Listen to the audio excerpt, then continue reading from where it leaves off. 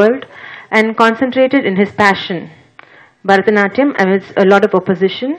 Now Shivakumar, along with his wife Shailaja, has established Shivakalalayam with many branches, spreading the art form, art form by imparting training to many students from various strata of the society. The duo also gives performances and many group presentations. Last but certainly not the least, Nartaki. Nartaki Natraj Tirunangai, who has carved a niche for herself in the firmament of Bharatanatyam. A rechristening happened after her debut for performance. Natraj became Nartaki. Hailing from Madurai, Nartaki had a formal training in Bharatanatyam under the legendary guru Sri K.P. Kittappa who has trained some of the great exponents like Vaijayanti Malavali, Hemamani Yamini Krishnamurti, and my guru, Srimati Sudharani Gupati. From 85 till his demise in 1999, Nartaki was trained in the rare compositions of a guru and of the Tanjavur quartet apart from the popular compositions. She has the rare distinction of having worked along with the guru in the music department of the Tanjavur University as his assistant. Nartaki, though not a natural born woman, specializes in depicting bhava laden Nayaki roles and a lot of research goes into her productions. Nartaki established her dance school Nartaki Nritya Kalalaya in Madurai in 1989 and in Chennai. More than 100 students, including overseas students, are being trained in her schools. Artists who face the same identity crisis as her are treated kindly and welcomed. Abhay also congratulates her for having won the, uh, I mean, for having, she's been conferred the Sangeet Natak Academy Award, which she will be receiving in May. I would ask Parvati, Roja and Priya Dixit to honor Tiruchitrambalam Sivasidambaram. அபையின் இன்று ஒரு செழிப்பான தேர்ந்த ஒரு தலைப்பு. அதற்கு சரியான உதாரணமாக நான் பொருந்துவேன் என்று நினைக்கின்றேன். இதற்கு என்னை தேர்வு செய்த தலைவருக்கும் மற்றும் அங்கத்தினர்களுக்கு முதலில் வணக்கத்தையும் நன்றியையும் தெரிவித்துக் கொண்டு ஆரம்பிக்கின்றேன். சமூக பொருளாதார மூலக்கூறுகளில் நடன கலைஞர்கள் இது தலைப்பு. இதற்கு நான் ஒரு சரியான உதாரணமாக இருப்பேன் என்று நினைக்கின்றேன். நிறைய எனது பயணங்களை பற்றியும் நீங்கள் படித்திருப்பீர்கள். மிக வசதியான குடும்பத்தில் பிறந்தேன். அந்த அடையாளம் எந்த அளவிற்கும் எனக்கு உதவவில்லை. சமூகம் என்ற அளவில் பார்க்கும் பொழுது எனது அடையாளம். நான் யார் என்ற கேள்வி எனது ஆறு வயதிலிருந்து எனக்கு தொடங்கிய பொழுது என்னை அறிவுறுத்தி கொள்ள அதாவது ம- என்னை நிறைய கேட்பாங்க இன்றைக்கும் பேட்டிகளில். முதல்ல பெண்மையை உணர்ந்தீங்களா அல்லது நடனத்தை உணர்ந்தீங்களா அப்படின்னு சொல்லிட்டு. இன்றைக்கும் எனக்கு அது விடை தெரியாத ஒரு கேள்வி. எப்பொழுது பெண்மையை உணர்ந்தேனோ அப்பொழுது நடனத்தை நுகர்ந்தேன். எப்பொழுது நடனத்தை ஸ்பரிசித்தேனோ எனது பெண்மையின் வடிவத்தை எடுத்துக்கொண்டேன். அதுதான் உண்மையான வார்த்தை. சமூகத்தின் விரட்டல்கள். ஒரு புறம். அந்த விரட்டல்கள் இயற்கையான ஒரு பால் திரிபு நிலைக்கான ஒரு விரட்டல்கள். எல்லா எல்லாவற்றிற்கும் அப்பாற்பட்டு நான் சொன்னேன் இன்று என்னுடைய மூத்த ஒரே சகோதரி எனது அக்கா முதன்முறையாக இந்த நமது நடன சகோதர சகோதரிகளை பார்ப்பதற்காக மதுரையிலிருந்து வந்திருக்கின்றார் தனலட்சுமி என்று.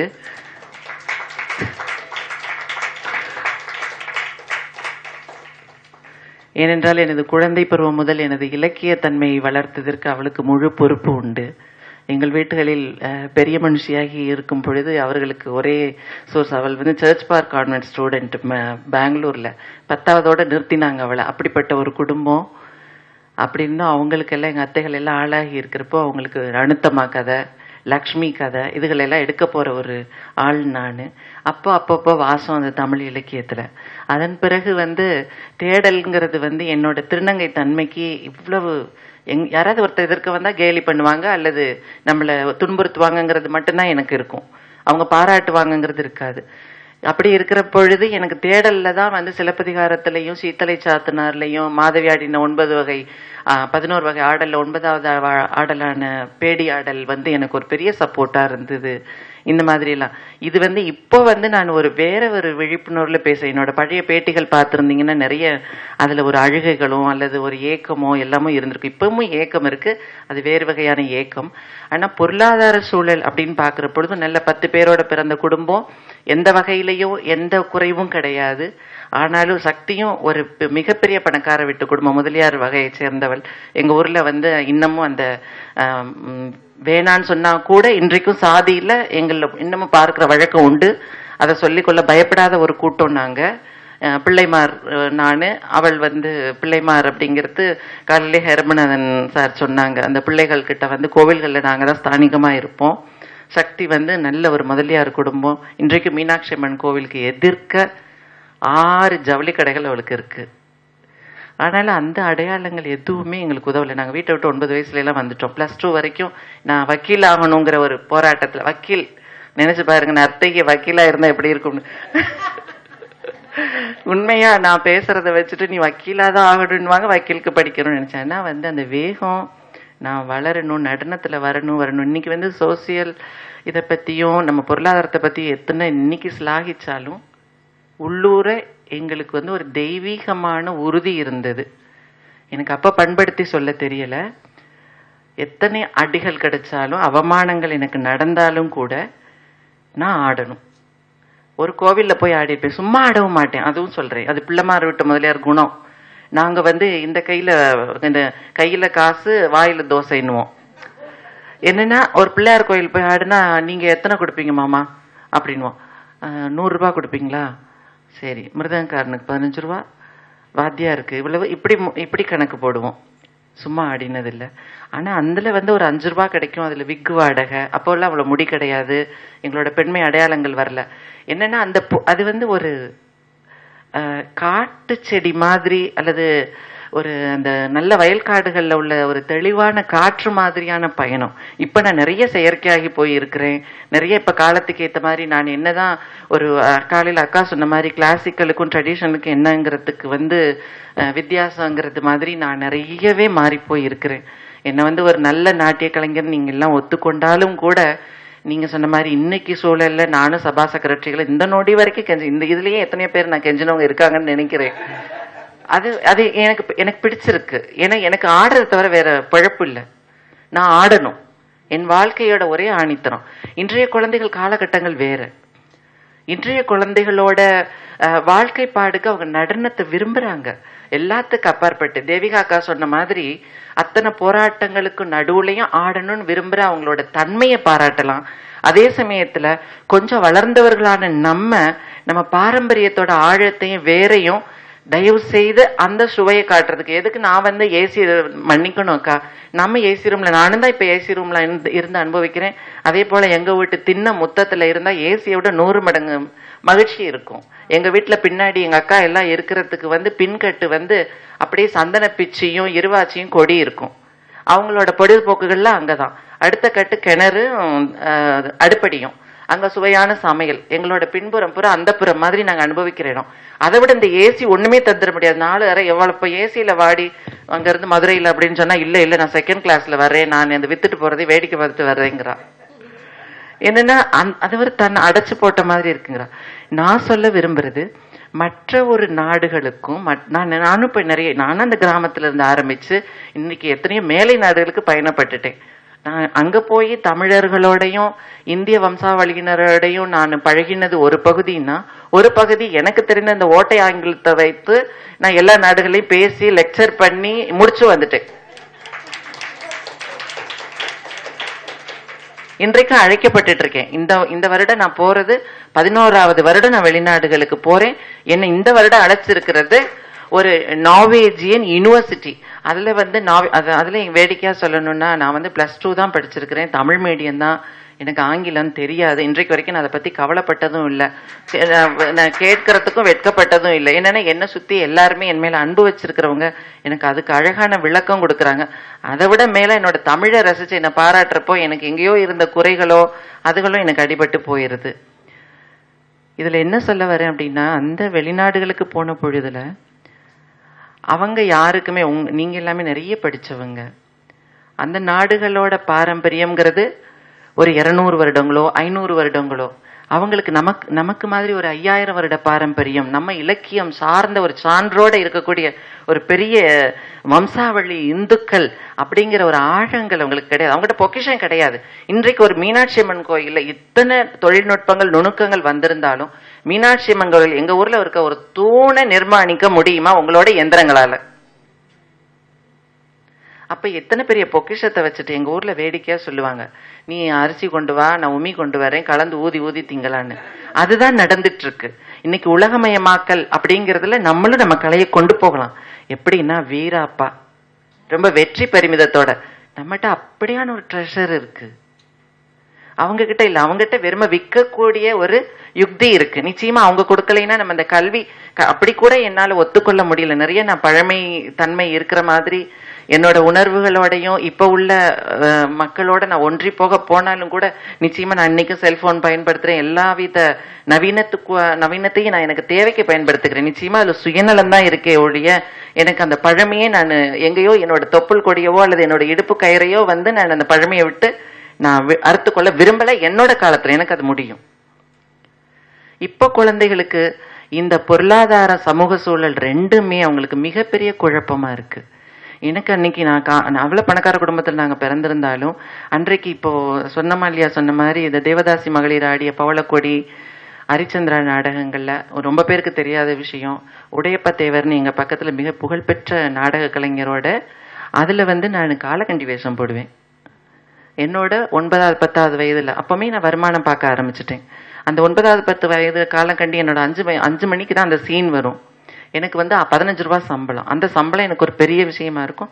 அதுல வாங்கக்கூடிய ஒரு லிப்ஸ்டிக்கோ கொண்டு பெரிய வேற ஒன்றும் வாங்க போறது இல்லை அதுல வாங்கக்கூடிய ஒரு லிப்ஸ்டிக்கோ ஒரு விக்குக்கு கொடுக்க வேண்டிய வாடகையோ வந்து எங்களுக்கு ஒரு பெரிய யுக்தியா இருக்கும். அப்போ பார்த்து நான் கற்றுக்கொண்டது அப்போ அதில் நாடகமாடிய அந்த தெய்வ மகளிர் என்று சொல்லக்கூடிய தேவதாசிகள் இன்றைக்கும் வந்து மிகப்பெரிய பாரம்பரியம். அவங்க உடைப்பா தேவரோட ஒரு அந்த கடைசி காலம் வரைக்கும் அவங்களோட ஹரிச்சந்திரால சந்திரமதியாகவும் நடித்தவங்க இன்றைக்கு அப்படி இறந்து போகிறதுக்கு கூட உரிமை இல்லாமல் ஒரு இடத்துல கிடக்குறாங்க. நான் பார்க்க அவங்க வீட்டு வாசலில் அத்தனை கார் நின்னுது. எத்தனையோ ஜமீன்தார்கள் எவ்வளோ பேர் என்னோட சின்ன வயசில் நான் பார்த்துருக்கேன்.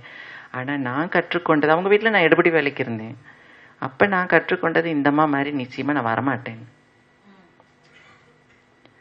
அப்போ அந்த ஒரு உணர்வு அதே சமயத்தில் கலையை விற்கவும் நான் விரும்பலை. இன்றைக்கும் சபாக்கள் கொடுக்குறாங்க. ஒரு ஒரு அளவில் எனக்கு தெரிஞ்சு போச்சு. உண்மையாக நாங்கள் வாழறது முன்ன வரைக்கும் நான் வாழ்ந்துட்டு இருந்தது தேவிகாக்கா சொன்ன மாதிரி எங்க ஊர் கிராமத்து கோவில்கள் திருவிழாக்கள் தான் எங்களுக்கு சோறு போட்டது. இந்த சென்னையில நான் இருந்த இவ்வளவு வருஷங்களும் கூட இப்ப கூட போய் திருப்பரங்குன்றம் மருதமலை காரைக்குடி இவ்வளவும் நீங்கள் நம்ப மாட்டீங்க. கிட்டத்தட்ட ஒரு ஐயாயிரம் ஆடியன்ஸ் முன்னாடி நான் ஆடிட்டு அப்படி ஒரு விருந்து ஓஹோன்னு பணம் கொடுக்கலைனாலும் அந்த பணத்தில் பக்கவாத்தியங்கள் நம்ம தனஞ்சயன் மிருதங்கம் நந்தினி பாட்டு இப்படி இவங்களுக்குலாம் நல்லா கொடுத்துட்டு அவங்களுக்கு புடவைங்கள் வேஷ்டி இவ்வளவு கொடுத்து வர ஒரு செழிம்பு இங்கே நான் எதிர்பார்க்க முடியாது. கிராமங்களில் ஆடுறதுல நிச்சயமாக மகிழ்ச்சி தான். அது ஒரு தன்னிறைவு தான்.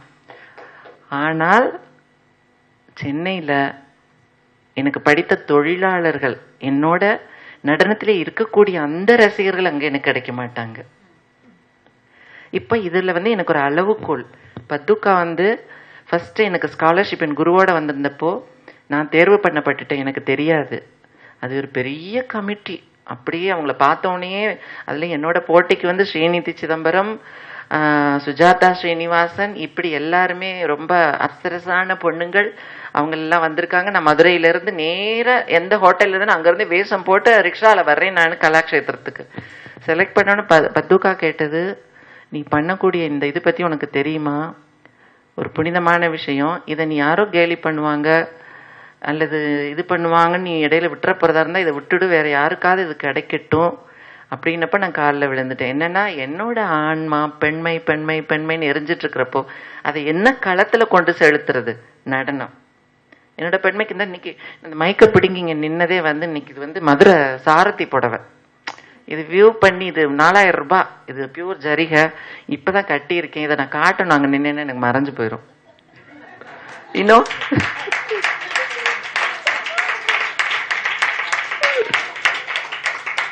அந்த ஆசை. முதல்ல எங்களை சமூகத்துல நிலைநிறுத்தினதுக்கு ஆடினோம். நிறைய திரும்பி பார்க்க விரும்பாத விவரிக்க முடியாத அல்லது உங்களோட பகிர்ந்து கொள்ள முடியாத நிறைய அவலங்கள். நர்த்தகி பத்திரிகைகள் வாயிலாவோ அல்லது ஏதோ ஒரு ஊடகங்கள் வாயிலாவோ தெரிவித்திருக்கிறது வந்து ஒரு ஐந்து வி ஐந்து சதவிகிதங்கள் தான். எனக்கும் உணர்வு இருந்தது எனக்கும் காதல் இருந்தது ஒரு பெண்ணுக்கான அத்தனையும் இருந்தது. ஒரு ஆண் தோள் சேரணுங்கிற எண்ணம் இருந்தது. எல்லாமே கனவுகளானது. இதுக்கிடையில் நடனம் சமூகத்தில் போட்டி என்ன பெண்ணை அங்கீகரிக்க மாட்டாங்களா அங்கே கொள்ளக்கூடிய ஏக்கம். ஒரு ஒரு நிமிடங்களும் எனக்கு மிகுந்த வலியும் விலை மதிப்பும் அற்றது. ரெண்டையுமே நான் ஒரு சேர அனுபவிச்சேன். ஒரு பக்கம் வேதனைகளை சந்திப்பேன் இன்னொரு பக்கம் யாரோ ஒருத்தர் அன்னைக்கு அந்த மாரியத்தா கோயில்ல நீ ஆடினியாமே அம்பாலே வந்த மாதிரி இருந்ததுன்னுவாங்க. அப்படியே எனக்கு எல்லாமே மறந்து போயிடும் நான் மாரியம்மன் ஆயிடுவேன். அதே போல டூரிங் தியேட்டர் தான் என்னோட முதல் குரு. இப்ப நான் வெட்கப்படாம சொல்ல முடியும். டூரிங் தியேட்டர்ல பத்மினி வைஜெயந்தி மாலா இவங்க ஆடினது தான் எனக்கு முதல்ல எனக்கு தெரியாது நடனம் பத்தி தெரியாது. அப்படியே நான் அந்த பத்மினியா ஆகி போயிடுவேன். வைஜெயந்தி மா- நான் வந்து முடிச்சு வந்து ஒரு ரெண்டு மூணு நாள் அப்படியே உணர்வுலேயே தெரிவேன் என் அக்காவுக்கு தெரியும். மதியம் மூணரை மணிக்கு என்னோட பள்ளிக்கூடத்துல இருந்து பெரிய வாய்க்கால் பின்பக்கம் சாக்கடை. அந்த கிருதுமால் நதின்னு பேர் அதுக்கு. அது ஏறக்குறைய சாக்கடை தான். அவ்வளோ உயரத்துலேருந்து அதில் தவ்வி ஒரு தோப்புக்குள்ள ஒரு இருபது நிமிஷம் நடந்து வரவே மூன்றரை மணிக்கு இலங்கை வானொலி நிலையத்தில் அப்போ நாட்டிய பாடல்கள்னு போடுவான் மூன்றரை டு நாலு. அந்த மூணாவது பீரியடுக்குள்ள வந்து அவள் அப்போ தான் மாவாட்டிட்டு இருப்பா. எனக்காக அந்த டிரான்சிஸ்டர் ஒன்று வந்து அப்போ எங்கெங்கே இருக்காளோ அங்கே இருக்கிற இடத்துல எல்லாம் இருக்கும். அந்த பாட்டுல இன்னைக்கு மணமாலை படத்து பாட்டு இன்னைக்கு மதுரை வீரன் பாட்டு இதெல்லாம் தொகுத்து நானே ஒரு டான்ஸ் ஆகி அடுத்த பீரியட் நாளே காலுக்கு பள்ளிக்கூடம் முடியும் அதுக்குள்ள போய் பள்ளிக்கூடத்துல விழுந்துருவேன். திருப்பி இயற்கையா பள்ளிக்கூடத்துலேருந்து வர்ற மாதிரி வருவேன். ஒரு ஒரு ஒரு ஒரு நிமிடங்களும் நான் அதை வந்து மகிழ்ச்சியா ஏற்றுக்கொள்றேன் வாழறேன். நான் ஆடுறப்போ இன்றைக்கு என்னோட வெற்றி முழுவதும் என்னோட பெண்மை கொடுத்தது. அதுக்கப்புறம் தான் நடனம் கொடுத்தது. அந்த வகையில் எனக்கு ஒரு குரு கிடைச்சாரு. அவரையும் இந்த நீங்க சொல்லக்கூடிய மாதிரி பொருளாதார வசதியா பாக்குறதுனா கூட குருவுக்கு இன்றைக்கு நான் வந்து எத்தனையோ மாணவிகள் எனக்கு கொட்டி கொடுக்குறாங்க. நான் போட்டிருக்க வைரத்தோட ஆகட்டும் ஏறக்குறைய உச்சந்திரில இருந்து உள்ளங்கால் வரைக்கும் பார்த்தீங்கன்னா யாரோ கொடுத்தது தான் எனக்கு. நான் வாங்கினது இல்லை. யாரோ எனக்கு தட்டில் வச்சு கொடுத்ததோ எத்தனையோ பேர் கொடுத்தது தான் பீத்துறதுக்கெல்லாம் ஒரு விஷயமும் கிடையாது. என் குருவுக்கு நான் செஞ்சதுன்னு பார்க்குறப்போ எனக்கு ஏதோ பந்து போல உருட்டும். இந்த சோசியோ எக்கானமி பற்றி இப்போ பேசுகிறோம் அவர்கிட்ட அவரோட மாணவிகள்னு சொன்னா அவங்க எல்லாருக்குமே தெரியும் வைஜெயந்தி மாலா ஹெமமாலினி யாமினி கிருஷ்ணமூர்த்தி எல்லாரும் அண்ணாந்து பார்க்கக்கூடிய நட்சத்திரங்கள். எனக்கு தெரிஞ்சு குவாலியர் ராணி அப்படி எல்லாம் வருவாங்க. அப்படி வைரங்கள் அது இது கொடுப்பாங்க. நானே கொண்டு உள்ள வச்சிருக்கேன். அவர் அதை பார்த்தியா எப்படி கொடுத்துருக்கான்னு என்னை கேட்டதும் இல்லை. அந்த நடன மணிகளுக்கு நான் மாதிரியா அந்த என் மெதுவாக குசு குசுப்பாங்க யாரோ உங்ககிட்ட இப்படி கத்துக்கிறாளாமே அவளை அந்த தில்லானா அப்படின்னு சொல்லுவாங்க. அந்த பூர்வ கல்யாணி சங்கீர்ணனோட ஜெய்சுரம். ஜெய்ஸ்வரம் இப்படின்னா எனக்கு ஒரே எப்போ கூப்பிடுவாங்கன்னு நின்றுட்டுருப்பேன் அதில் எந்த பண அளவீடுகளும் இருக்கலை. தெரியாது உண்மையாகவே தெரியாது. இன்றைக்கு எப்பயோ நான் யாருக்கிட்டேயோ அதிகமாக நான் வாங்குறப்போ வாங்கிடுறேன் இல்லைன்னுலாம் சொல்ல மாட்டேன். ஒருவித கூச்சமும் எங்கேயோ வாத்தியார் நின்று என்னைய இப்படி பார்க்குற மாதிரி ஒரு உணர்வு எனக்கு இன்னமும் உண்டு. இப்ப இப்ப நான் வந்து அந்த கட்டுகளை கொஞ்சம் கொஞ்சமா உடைக்க நான் முற்பட்டிருக்கேன். வாய்ப்பு கேட்கறதுக்கு முன்ன கொஞ்சம் இடையில ஒரு மாதிரி நம்மளை ஒத்துக்கொண்டாங்களே இன்னும் போய் நம்ம தொங்குறோம்? அப்படின்னு நினைச்சது உண்டு. இப்ப கிராமங்கள்ல என்ன தேடி வர்றாங்க? வெளிநாடுகள்ல என்ன தேடி வர்றாங்க? சென்னையை பொறுத்தளவு நான் தான் வாய்ப்பு கேட்கிறேன். ஏன்னா சென்னையில தான் என்னோட இந்த rare compositions of Tanjore quartet இந்த விஷயங்களை பண்ணி காமிக்கணும். இந்த மேல பிராப்தி சூழாதி பிரபந்தம் எத்தனை மேடைகளை போய் ஆடிடுவேன்? வேற எனக்கும் சக்திக்கும் என்ன ஒரு வேறுபட்ட ஒரு மகிழ்ச்சி இருந்துட முடியும்? அப்படிங்கிறப்போ நான் இப்படி யோசிச்சுட்டு தான் ஃபோன் பண்ணுவேன். எனக்கு இந்த வருடம் நீங்கள் வாய்ப்பு கொடுக்கணும். எனக்குள்ளே நினச்சிப்பேன் அந்த வாய்ப்பு கிடைச்சா அதுக்கு முன்னாடி முடிவு பண்ணிப்பேன் கொடுக்கலன்னா அடுத்த சபா. இப்போ எனக்கு அது இல்லை. ஏன்னா எனக்கு ஏமாற்றங்களும் கேலிகளும் அல்லது வந்து நிராகரிப்புகளும் எனக்கு வந்து இப்போது பெருசாகவே தோணல. எனக்கு அதை மகிழ்ச்சியாக எடுத்துக்கிறேன். ஆனாலும் உண்மையை சொல்லணும்னா இத்தனை போராட்டங்களுக்கும் இடையில் அது பொருளாதாரமாகட்டும் சமூகமாகட்டும் உண்மையாக சத்தியம் எனக்கு ரொம்ப பிடிக்கும். சத்தியங்கிறது விஷயத்தில் நான் வந்து என்னோட பெரிய கலைஞர்களையெல்லாம் எல்லாம் கனவுகளாக பார்த்தேன். எப்படி சினிமா தியேட்டர்லேருந்து ஒரு குரு கிட்ட போகணுன்னு கிட்டப்பா பிள்ளைகிட்ட வந்தனோ முடிச்சிட்டேன். அந்த அஞ்சு நிமிஷத்தில் அங்கே மணி பார்த்துட்டேன் மாமா அங்கே. அங்கே. நாலு மணி நீங்கள் சொல்லியிருக்கீங்க இன்னொரு அஞ்சு. நான் முடிச்சிட்டேன். சோ அந்த ஒரு வாத்தியார பார்த்த சூழல்ல என்னோட பெரியவங்களோட வழிநடத்தல்களையெல்லாம் நான் எடுத்துட்டேன். எல்லா வகைகள்லையும். அவங்க நிகழ்ச்சி பண்ணக்கூடிய பாங்கு அவங்க எப்படி அணுகிறாங்க அதெல்லாம் நான் எடுத்துட்டேன். சமூகமாகட்டும் பொருளாதாரமாகட்டும். அத்தனைக்கு மேல ஒரு தெய்வீகமான ஒரு உழைப்பும் அர்ப்பணிப்போம். என்ன கொண்டு வந்து நிறுத்துச்சு? நான் இன்றைய மாணவிகளுக்கு சொல்றது எத்தனை போராட்டம் இருக்கட்டும் நீங்க நிறைய படிங்க. உங்களுக்கு வாய்ப்புகள் இருக்கட்டும் கிடைக்குதோ கிடைக்கலையோ ஆனால் இதை தெய்வீகமாக அணுகுனீங்கனாக்க நம்ம பண்பாடு செதையாம உங்களுக்கு அடுத்த தலைமுறைக்கும் கொண்டு செலுத்தப்படும். இப்ப என் குரு கொடுத்ததான் நான் காவடி தூக்கிட்டு வந்திருக்கேன். உங்ககிட்ட வச்சுட்டேன். நீ அடுத்து என்னோட மாணவிகள் அதையே கொண்டு போகணும்னு விரும்புறேன். இப்படி ஒரு நல்ல வாய்ப்புக்கு உங்களோட இதை பகிர்ந்துக்கிறதுக்கு வாய்ப்பளித்ததுக்கு ரொம்ப நன்றி.